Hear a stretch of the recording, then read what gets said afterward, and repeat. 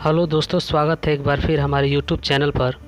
दोस्तों, आज की वीडियो कर्व के बारे में है, जिसका हिंदी में अर्थ होता है गोलाई।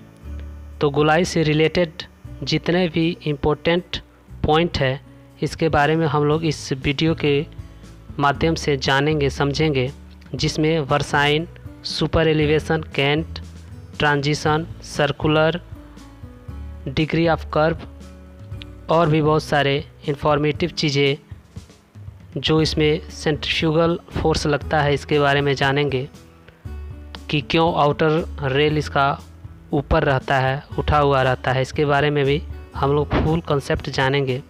तो आप लोग वीडियो के लास्ट तक ज़रूर बने रहिएगा। और जो भी भाई बंधु हमारे चैनल पर नए विज़िट कर रहे हैं, उनसे निवेदन है कि हमारे चैनल को सब्सक्राइब करके बेल आइकन को प्रेस कर लेंगे, ताकि ऐसी लेटेस्ट वीडियो आप लोगों को मिल सके। तो चलिए जल्दी से शुरू करते हैं। सबसे पहले देखते हैं वाट इज़ कर्व कर्व क्या होता है? Curve is a line of which no part is straight one way to recognise a curve is that it bends and changes its direction at least once मतलब वक्र या गोलाई एक ऐसी रेखा है जिसका कोई भी भाग सीधा नहीं होता है। वक्र को पहचानने का एक सही तरीका यह है कि यह झुकता है और कम से कम एक बार अपनी दिशा को अवश्य बदलता है। इसी को हम लोग कर्व कहते हैं। और गोलाई में जब भी ट्रेन क्रॉस करती है तो आप लोग देखे होंगे जहाँ से गोलाई स्टार्ट होती है, उसके किनारे पर एक कर्व बोर्ड होता है, जिसमें निम्नलिखित बातें लिखी रहती है, जिसमें curve number location degree of curve radius super elevation और डिज़ाइन वर्साइन उसमें मेंशन रहते हैं, जिसको देख करके यह बताया जा सकता है कि यह कितने डिग्री का कर्व है। इसके बाद, देखिए, गोलाई के तीन पार्ट्स होते हैं। There are three parts of curve पहला ट्रांजिशन दूसरा सर्कुलर और तीसरा फिर से ट्रांजिशन अब इस ट्रांजिशन सर्कुलर और फिर जो ट्रांजिशन मैंने लिखा इसके बारे में मैं इस फिगर के माध्यम से बता देता हूँ। जैसे यह एक कर्व है तो इस कर्व के दोनों साइड जहाँ से कर्व शुरू होती है और लास्ट होती है, दोनों साइड पर ट्रांजिशन वाले पार्ट्स होते हैं और बीच वाले जो पार्ट होते हैं उसको सर्कुलर पार्ट बोला जाता है। सर्कुलर पार्ट बोला जाता है। इसके बाद आगे वीडियो में हम लोग जानेंगे कि gauge versine degree of curve radius super elevation जिसमें आउटर रेल ऑलवेज हाई होता है, और जिसको क्रॉस लेवल भी बोला जाता है, जिसमें लेफ़्ट और राइट रेल लो अथवा हाई होता है। इसके बाद चेक रेल इन कर्व और कुछ इम्पोर्टेंट फैक्ट के बारे में हम लोग आगे देखेंगे। तो आप लोग वीडियो के लास्ट तक ज़रूर बने रहिएगा। और वीडियो अच्छी लगे तो प्लीज़ लाइक, कमेंट और शेयर ज़रूर कीजिएगा, तभी हमको पता चलेगा कि वीडियो आप लोगों को अच्छी लग रही है, ताकि मैं ऐसी वीडियो अपलोड कर सकूँ और चैनल को भी सब्सक्राइब कर लीजिएगा। तो देखिए, सबसे पहले ट्रांजिशन समझते हैं, ट्रांजिशन कर्व के बारे में। An easement curve which has curvature change throughout its length एक सहज, सहजता वक्र जिसकी लंबाई में वक्रता परिवर्तन होता है, इसी को ट्रांजिशन बोला जाता है। इसके बाद वर्साइन देखते हैं। Versine is the perpendicular distance measured at the mid point of a code from the arc of curve track versine घुमावदार ट्रैक के चाप से एक कार्ड के मध्य बिंदु पर मापा जाने वाला लंबवत दूरी होता है। अब इस फिगर के माध्यम से हम लोग समझते हैं वर्साइन कैसे मापा जाता है।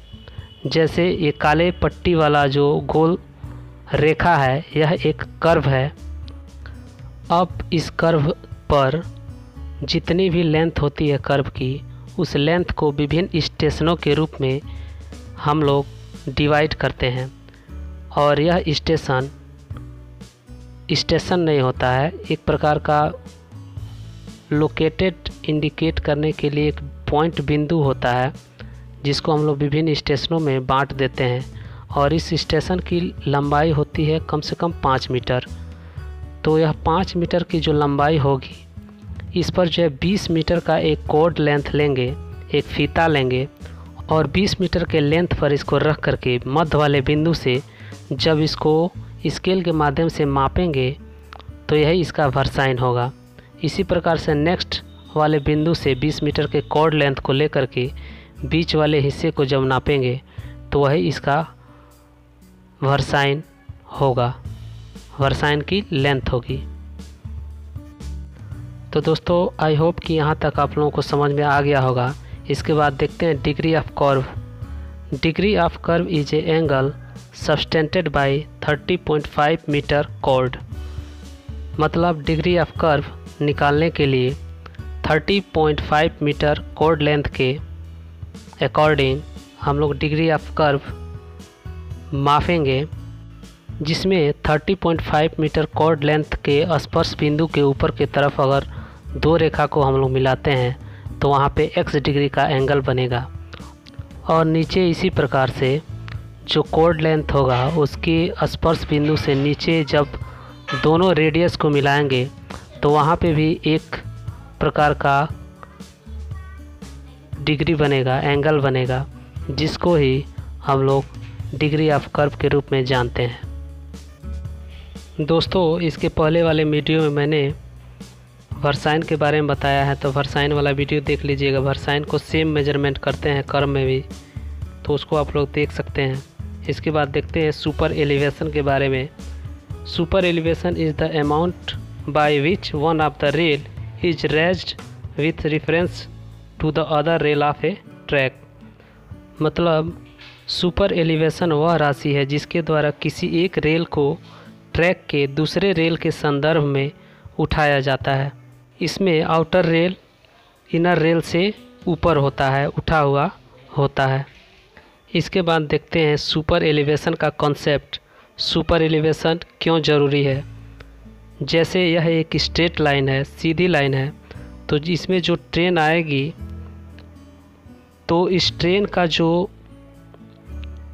वेट होगा, भार होगा, वो सीधे नीचे की तरफ़ होगा स्ट्रेट और इसका ग्रेविटेशनल फोर्स भी नीचे ही होगा सेम कंडीशन में। और जब कोई ट्रेन किसी कर्व से गुजरती है, अर्थात कर्व लाइन से गुजरती है, तब क्या होगा? जैसे यह एक बोगी है, ट्रेन का डिब्बा है, और यह ट्रेन एक कर्व लाइन पर गुजर रही है, जो नीचे इंडिकेट करके मैंने दिखाया है। यह एक कर्व लाइन है, और इसके चक्के इस पर घूमती हुई रन कर रही है। तो इस बोगी का जो सेंट्रीफ्यूगल फोर्स होगा अब केंद्रीय बल होगा, वह आउटर रेल की तरफ़ होगा। और इसका वेट होगा, ये नीचे होगा। तो इसका रिजल्टेंट फोर्स होगा इधर आउटर रेल की तरफ़, जो कि इस रेल के चक्के पर पड़ेगा। अर्थात अंदर वाले रेल से ज़्यादा बाहर वाले रेल पर इसका फोर्स पड़ेगा। और बाहरी रेल के चक्के पर ही क्यों लगेगा? क्योंकि ट्रेन जो रन कर रही है। और रन करने के दौरान अगर कर्व आता है तो वह बाहर की तरफ़ ही इसका बल लगता है। अब इसी बल को संतुलित करने के लिए जो आउटर रेल होते हैं, जिस पर फोर्स पड़ रहा है, उसको थोड़ा सा उठा देते हैं, जो कि रिजल्टेंट फोर्स को नगण्य कर देता है। तो इस प्रकार से कर में आउटर रेल को हमेशा हाई रखा जाता है इनर रेल से। इसके बाद देखते हैं check rail in curve. Curve में चेक रेल कब लगाया जाता है? तो कर्व में चेक रेल आठ डिग्री के कर्व के लिए या आठ डिग्री से अधिक के कर्व के लिए लगाया जाता है। यह इम्पोर्टेंट बिंदु था, इसको आप लोग याद रखिएगा। और इस कर्व में जो चेक रेल लगे होंगे तो चेक रेल और रेल के बीच जो क्लियरेंस होंगे, वो 44 मिलीमीटर mm होगा। 44 मिलीमीटर। न्यूनतम clearance. Each curve of length greater than 250 metre should preferably be provided with ACJ on other side ACJ should be located in straight track at 100 metre away from the tangent point मतलब 250 metre से अधिक लंबाई के प्रत्येक वक्र को। अधिमानता दोनों ओर ACJ के साथ प्रदान किया जाना चाहिए। एसीजे को स्पर्श बिंदु से 100 मीटर की दूरी पर सीधे ट्रैक में स्थित होना चाहिए। तो दोस्तों आई होप कि ये वीडियो आप लोगों को पसंद पड़ा होगा।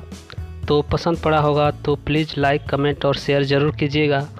और जो भी नए दोस्त हमारे चैनल पर विज़िट कर रहे हैं तो उनसे निवेदन है कि हमारे चैनल को सब्सक्राइब कर लीजिएगा, ताकि ऐसे लेटेस्ट वीडियो आप लोगों को मिल सके। और जो भी हमारे पुराने वीडियोज़ को नहीं देखे हैं तो प्लेलिस्ट में जा कर के देख लीजिएगा। Thank you